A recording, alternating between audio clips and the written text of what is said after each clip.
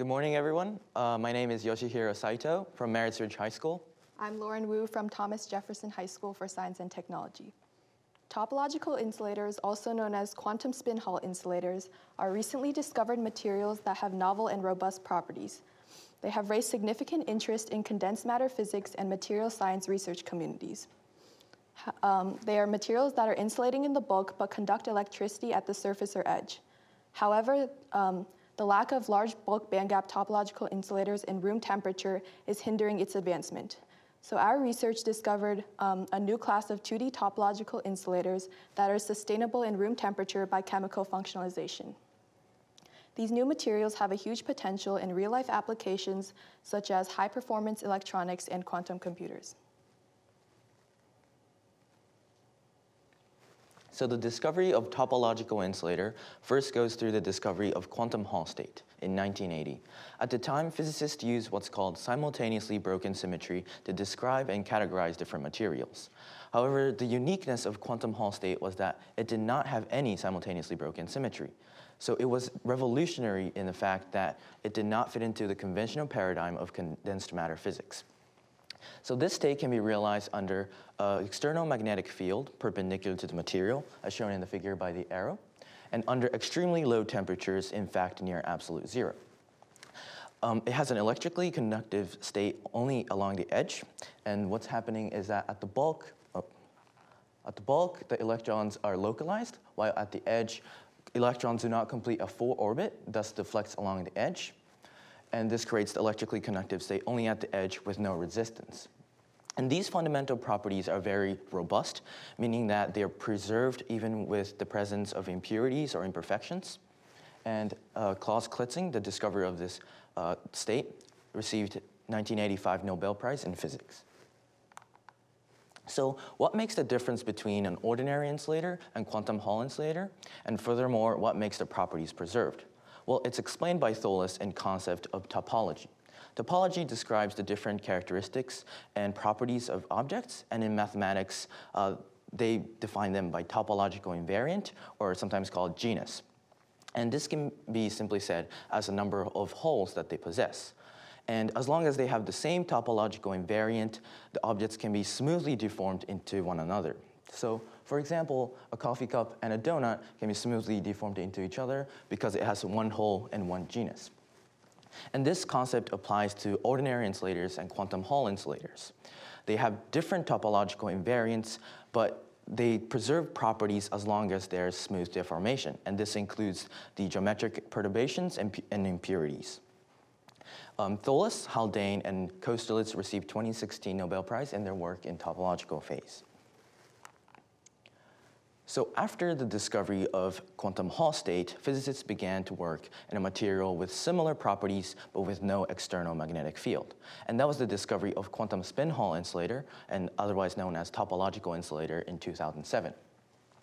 So because there's no external magnetic field, it preserves time reversal symmetry, and furthermore, they used what's called spin-orbit coupling. At the edge, there are two electrons with opposite spins propagating at different direction, thus creating uh, electron flow, uh, two electron flows actually, uh, with no resistance. And also the spins of the electrons and intrinsic angular momentum supply their own, uh, essentially the magnetic field. And in the band structure, there's an interesting and unique characteristic called band inversion, where the top valence band and the bottom conduction band exchange its bands.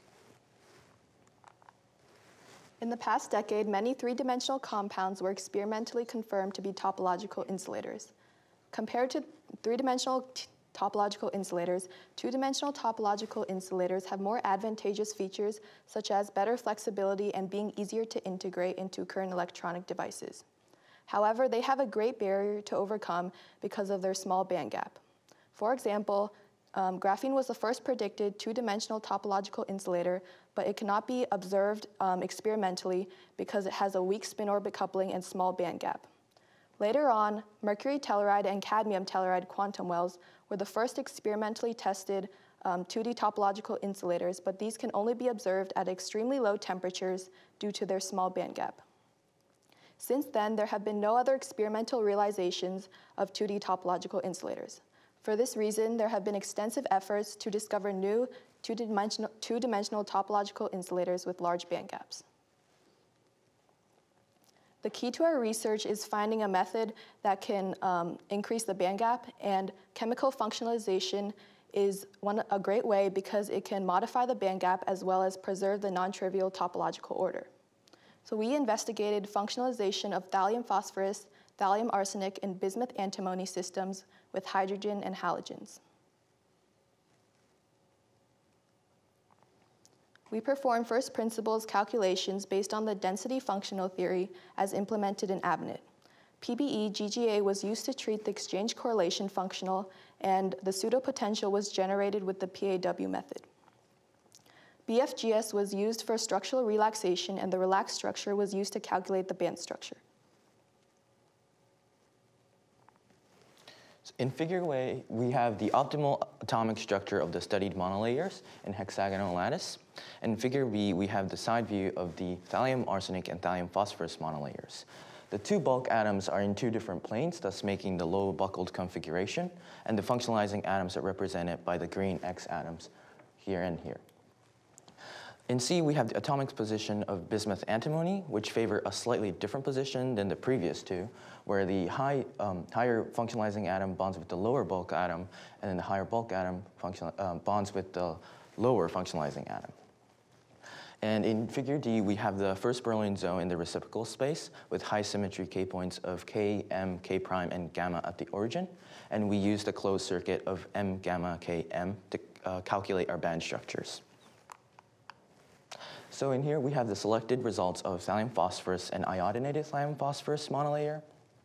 So without spin-orbit coupling, it uh, suggests a semiconductor-like nature with little or no band gap at all. However, with spin-orbit coupling, it successfully opens up the band gap, uh, and that's shown in the red bands. And we also see a phenomenon called Rashba spin splitting effect, where the bands seem to double in each of the bands.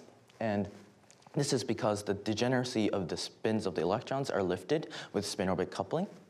And this leads to other important properties such as pure electricity, natural topological p-n junctions, and topological magnetoelectrical effects. And we also see a band inversion in the iodinated thallium phosphorus uh, near gamma point um, and Fermi level. And this shows a great evidence for topological insulator. We now have the selected results of thallium arsenic and iodinate thallium arsenic band structures. And this is sim overall similar to the thallium phosphorus monolayers, since arsenic and phosphorus, uh, the elements are in the same group 15. So spin-orbit coupling opens the band gap, and we see also see a Rashba spin splitting effect. However, we overall see a larger band gap opening induced by the spin-orbit coupling because arsenic atom, uh, the core of the arsenic atoms are bigger and thus uh, induce a bigger spin-orbit coupling effect. For bismuth antimony band structures, the band gap is at the K point in reciprocal space rather than at the gamma point, and pure bismuth antimony has a very large band inversion, which indicates a topological insulator. And iodinated bismuth antimony has a band gap of 0.43 eV, which is the largest band gap in our study. This is a summary of our band gap findings. Um, the materials with hydrogen on them are predicted to be topologically trivial, while the materials with halogens on them are predicted to be topologically non-trivial. And this is because hydrogen has different properties from halogens and also explains why um, there's a, an extremely large band gap in materials with hydrogen. In general, bismuth antimony systems have the largest band gaps because bismuth and antimony are large atoms, meaning they have strong spin-orbit coupling. The thermal energy at room temperature is 0.026 eV, and all the band gaps exceed this thermal energy. In summary, we find that chemical functionalization successfully increases the band gap from the pure monolayer. And for each system, the iodinated monolayer has the largest band gap, ranging from 0.15 to 0.43 EV. Since GGA calculations underestimate the um, actual value of the band gap, it is almost certain that the experimental value will be larger than these theoretical values. Um, all the band gaps exceed the thermal energy at room temperature, making them usable for practical applications, And uh, these materials offer new options in this exciting research field and are potentially usable in quantum computers, spintronic devices, and more. As future work, we would like to consider plane tensile strain as well as heterostructures to even broaden the potential of large bulk bandgap topological insulators. And we, would, we can also perform nanoribbon calculations to physically observe the edge states uh, crossing near Fermi level and the electronic states uh, at the edge. And we can, uh, it's also interesting to explore different materials and combination of them, such as superconductors and topological insulators, to realize particles such as Majorana fermions. We would like to give thanks to our mentor, Dr. Luo and Dr. Chen, for their guidance, our parents for their support throughout the research, Siemens Foundation and Discovery for the excellent opportunity, and lastly, thank you, audience and judges, for your time.